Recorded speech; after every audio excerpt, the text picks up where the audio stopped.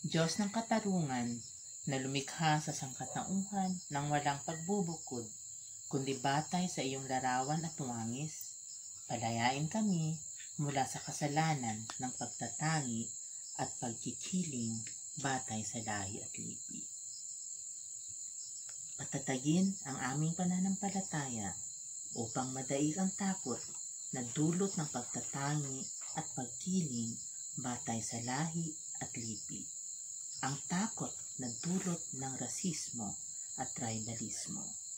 Nang sa ganon ay aming maunawaan at mapagtanto ang mapapinsalang epekto na dulot nito sa mga tao.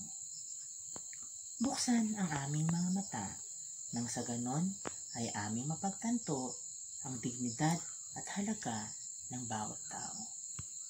Buksan ang aming mga taina upang aming marinig ang mga daing ng mga nasaktan dulot ng pagtatangi sa lahi at lipi upang aming marinig ang kanilang mga panaghoy para sa pagbabago.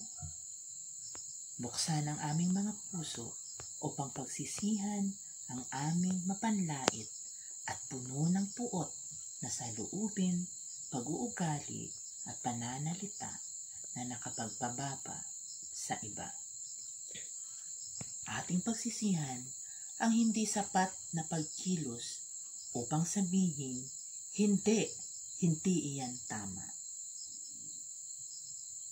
Sa iyong awa at habag, samahan ninyo kami sa aming patuloy na paglalakbay tungo sa paghilom upang lumikha ng kinabukasan na may katarungan at pagkakapantay-pantay.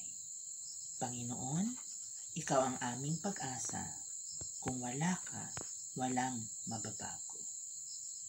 Bigyan kami ng lakas ng loob at marugdog na pagnanais na ipahayag at ipakita ang pag-ibig na gaya kay Kristo.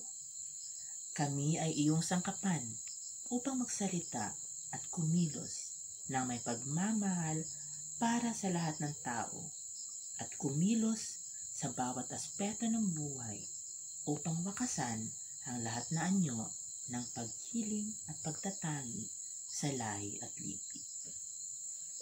Salamat Panginoon sa iyong awa at biyaya.